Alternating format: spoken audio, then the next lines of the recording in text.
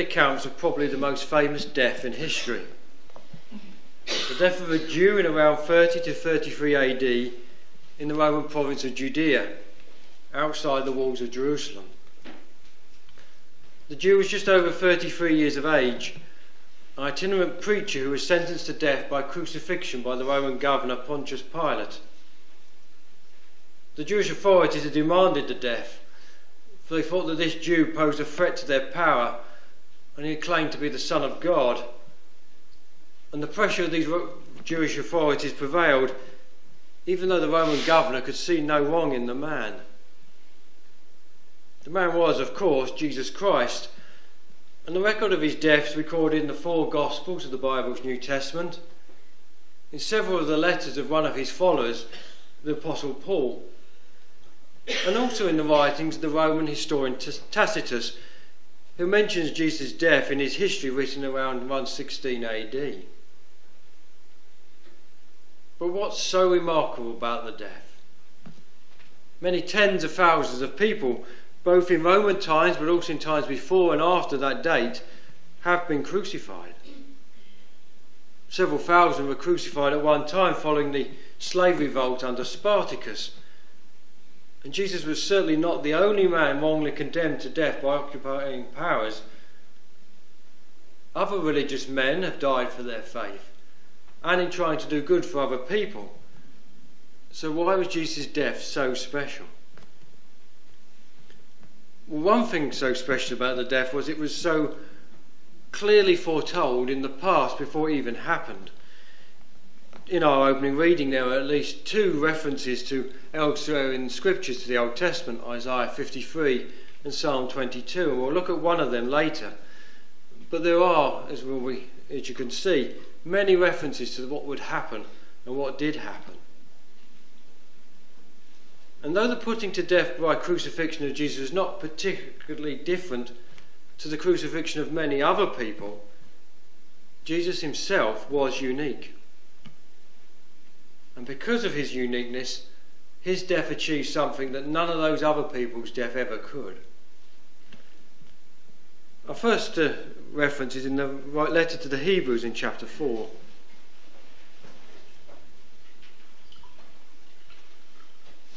The writer of this letter to Hebrew followers in the time of just after Jesus wrote these words Hebrews 4, verse 14.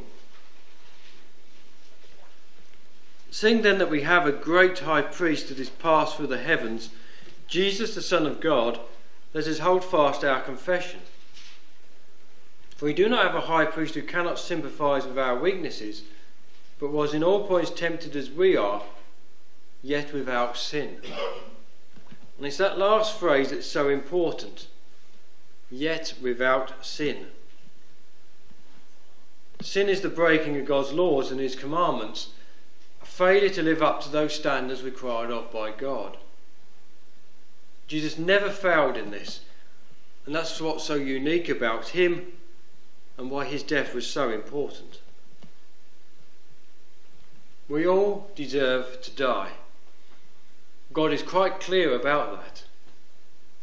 In the Old Testament, a prophet called Ezekiel records God's words in Ezekiel 18, verse 4 Behold, all souls are mine. The soul of the Father, as well as the soul of the Son, is mine. The soul who sins shall die. So God through the prophet says that any soul, any, any life, any person that sins deserves to die. That was God's judgment when Adam disobeyed in the Garden of Eden. For dust thou art, and unto dust thou shalt return, he said. And in a just world, there must be a punishment for anyone who breaks the rules.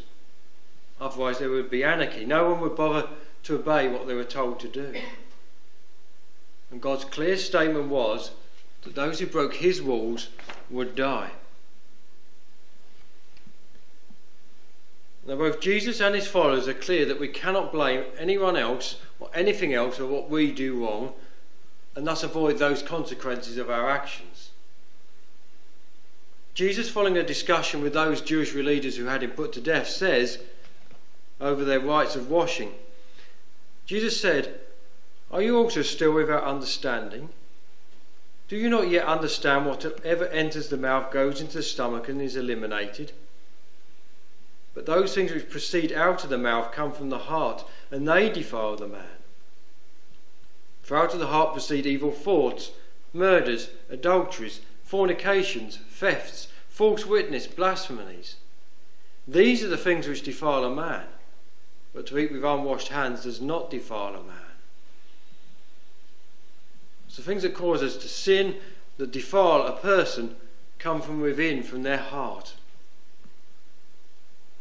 The Apostle James, in his letter that he wrote uh, later in the New Testament, is very clear. It's James 1, verses 13 to 15. James chapter 1 from verse 13. Let no one say when he is tempted, I am tempted by God. For God cannot be tempted by evil, nor does he himself tempt anyone. But each one is tempted when he is drawn away by his own desires and enticed. Then, when, death, when desire has conceived, gives birth to sin. And sin, when it is full grown, brings forth death. So, temptation which leads to sin comes from within each of us. And this leads to death as a punishment for those sins, for that disobedience. And this problem of sin applies to everyone in all mankind. Paul, in his letter to the Romans, makes these three statements. I'll quickly run through them. Romans 3, verse 23. Romans 3, verse 23.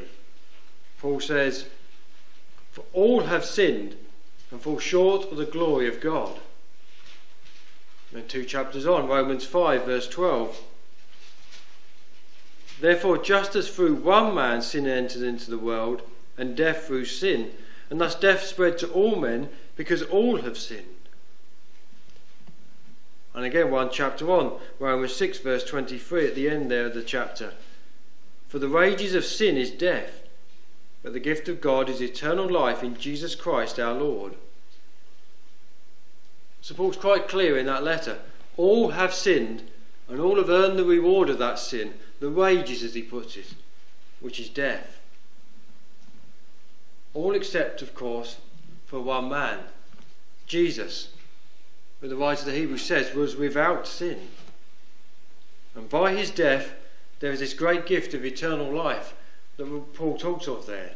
The gift of God is eternal life in Jesus Christ our Lord. So, how can that be achieved?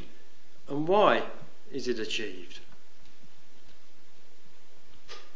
As I said, the work of Jesus was prophesied and his death was prophesied in great detail in the Old Testament, especially by the prophet Isaiah. If we turn there to Isaiah chapter 53, we can see one of the prophecies that's quoted in Mark 15. I mean, we could read the whole chapter as a part of this subject, but we'll go in at verse 4. Isaiah 53, verse 4. Surely he has borne our griefs and carried our sorrows. Yet we esteemed him stricken, smitten by God, and afflicted. But he was wounded for our transgressions, he was bruised for our iniquities. The chastisement for our peace was upon him, and by his stripes we are healed. Or we, like sheep, have gone astray, we have turned every one to his own way. The Lord has laid on him the iniquity of us all. He was oppressed and he was afflicted, yet he opened not his mouth. He was led as a lamb to the slaughter, and as a sheep before his shearers is silent, so he opened not his mouth. He was taken from prison and from judgment, and who will declare his generation? For he was cut off from the land of the living. For the transgressions of my people he was stricken. And they made his grave with the wicked, but with the rich at his death, because he had done no violence nor was any deceit in his mouth. Yet it pleased the Lord to bruise him. He has put him to grief. When you make his soul an offering for sin, he shall see his seed. He shall prolong his days, and the pleasure of the Lord shall prosper in his hand. He shall see the travail of his soul and be satisfied. By his knowledge, my righteous servant shall justify many, for he shall bear their iniquities. Therefore, I will divide him a portion with the great, and he shall divide the spoil with the strong, because he poured out his soul unto death, and he was numbered with the transgressors. And he bore the sin of many, and made intercession for the transgressors. The prophet there speaks of a, a servant of God, and it's very clear when we read that and the life of Jesus and his crucifixion that he's prophesying of the death of our Lord Jesus Christ. Though Jesus did not sin, he was of the same nature as us. We saw that in that quotation we had from Hebrews chapter 4. Seeing then that we have a great high priest that is passed through the heavens, Jesus the Son of God, let us hold fast our confession. For we do not have a high priest who cannot sympathize with our weaknesses, but was in all points tempted as we are, yet without sin. So though Jesus did not sin, he was still tempted just like all other human beings are tempted. And the writer earlier in Hebrews, in Hebrews 2, puts it this way Hebrews 2, verse 14. Inasmuch then as the children have partaken of flesh and blood, he himself likewise shared in the same that through death he might destroy him who had the power of death, that is, the devil, and release those who through fear of death were all their lifetime subject to bondage. For indeed he does not give aid to angels, but he does give aid to the seed of Abraham. Therefore, in all things he had to be made like his brethren, that he might be a merciful and faithful high priest in things pertaining to God, to make propitiation for the sins of the people. For in that he himself hath suffered, being tempted, he is able to aid those who are tempted. Jesus knew what temptation to sin was like, and he's able to sympathize with those who are tempted and fall. And because he was a man, his death was able to save all other men from the fear of death. Well, how is that? Well, the writer says, by overcoming that which had the power of death, which the writer in Hebrews terms the devil. So, who or what is this devil? Well, the word used in the original Greek is diabolos. It literally means to slander, to falsely accuse, or to misrepresent maliciously. It's used in John 6, verse 70 by Jude, Jesus about Judas Iscariot, the man who was to betray him to the Jewish authorities. Jesus answered them, Did I not choose you, the twelve, and one of you is a devil? So Jesus calls Judas a devil because he was to falsely accuse him to the Jewish authorities. In 1 Timothy chapter 3 verse 11, Paul uses this same word as a characteristic that women should not have. Likewise, their wives must be reverent, not slanderers, and that's this word devil, temperate, faithful in all things. And exactly the same way in his letter to Titus, Paul writes, The older women likewise, though they be reverent in behaviour, not slanderers, that's again devils, not given to much wine, teachers of good things so, devil represents a type of behaviour or a type of person carrying out that behaviour. In Hebrews 2, verse 14, we saw that the devil had the power of death. So, what type of behaviour has the power of death? Well, we've seen that already. As Paul puts it in Romans 6:23, for the wages of sin is death. Or as elsewhere in Romans, in Romans 5, verse 21, so that sin have reigned in death, even so grace might reign through righteousness to eternal life with Jesus Christ our Lord. So it's sin that's the behaviour that leads to death. It's sin that falsely accuses God, saying that when He said, From the day that you eat of it, you shall surely die, in Genesis 2, that God was lying and that death does not result from sin.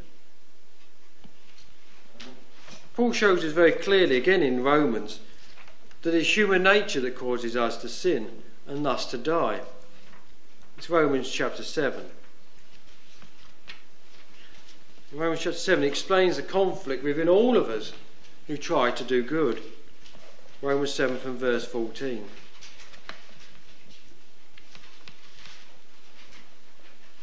For we know that the law is spiritual, but I am carnal, sold under sin. For what I am doing, I do not understand. For what I will to do, that I do not practice. And what I hate, that I do. If then I do what I will not to do, I grieve the Lord that it is good.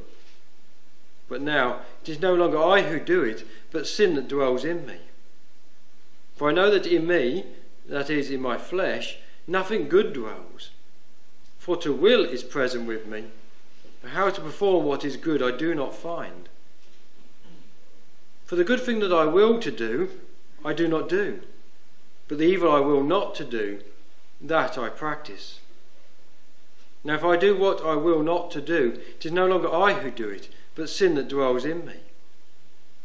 I find then a law that evil is present with me, the one who wills to do good.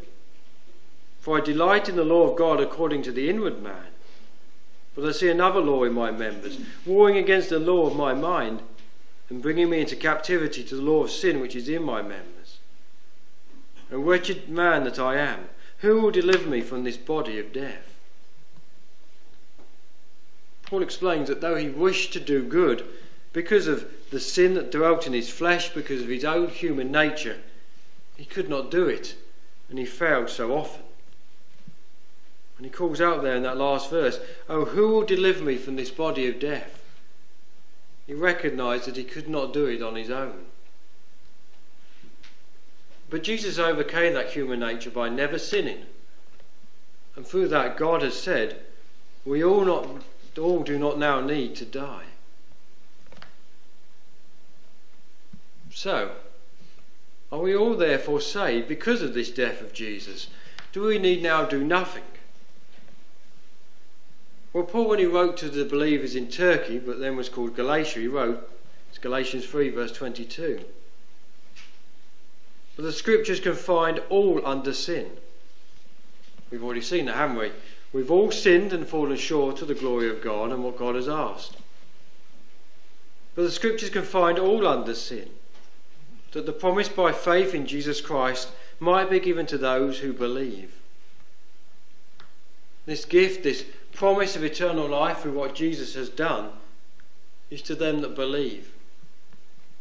We must believe, or have faith as it's also put.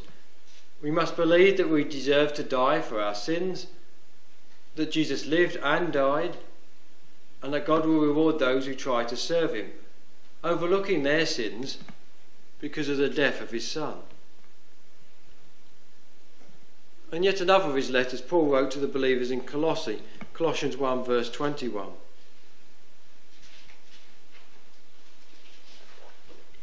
Colossians chapter 1, verse 21. And you, who once were alienated and enemies in your mind by wicked works, that is, he's saying, you who were sinners, Yet now he has reconciled in the body of his flesh through death, to present you holy and blameless and irreproachable in his sight. If you indeed continue in the faith, or if you continue to believe, grounded and steadfast, and are not moved away from the hope of the gospel which ye heard, which was preached to every creature under heaven, which I, Paul, became a minister. So you who were sinners because of the death of Jesus, you're now reconciled, brought back to God, if you continue to believe in what God has said. Turn with me, please, to John's Gospel in John chapter 3, where it's put again for us in some very well known words. John chapter 3, from verse 14.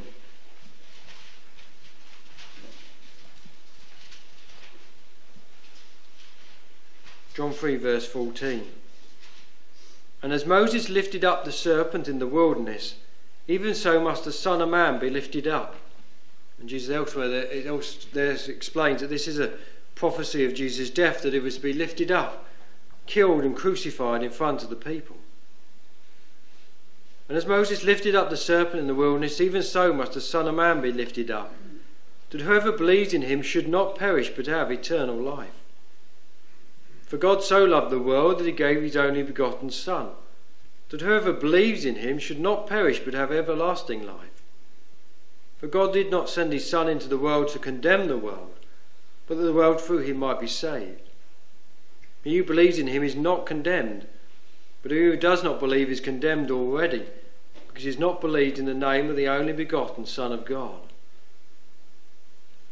So God sent his Son to, to die for those who would believe in him.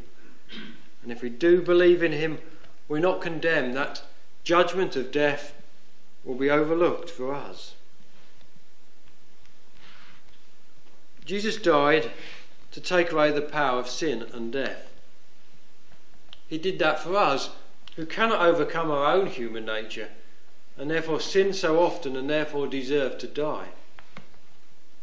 But God says that if we believe in His Son, we shall not perish but have everlasting life. And one way that we show that belief and our acceptance that Jesus' death was for our sins and therefore for each and every one of us is to associate ourselves with that death. Not by being crucified ourselves, of course, but in the way that Paul explains in Romans chapter 6. Let's turn there to finish as our last reading. Romans chapter 6 from verse 3.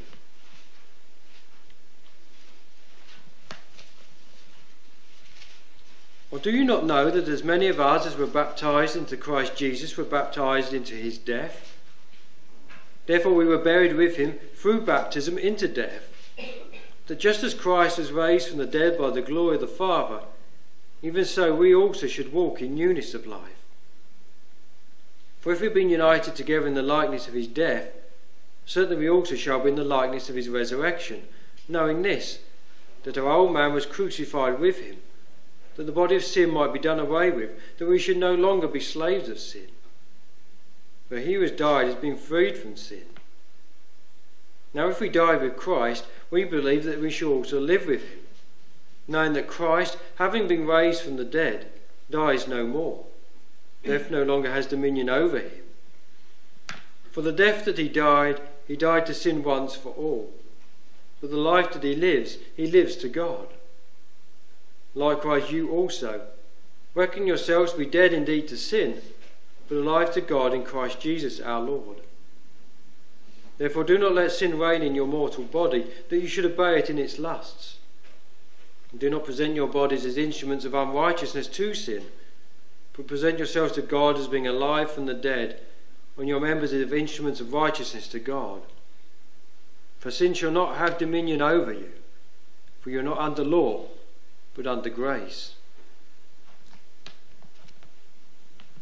Do you not know that as many have been baptized into Christ were baptized into his death?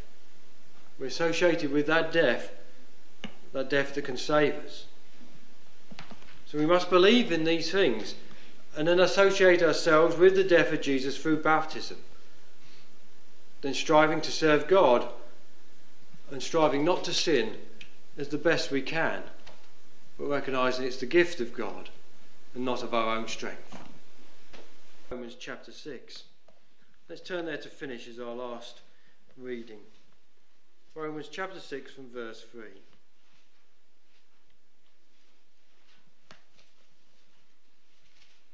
Or do you not know that as many of us as were baptized into Christ Jesus were baptized into his death?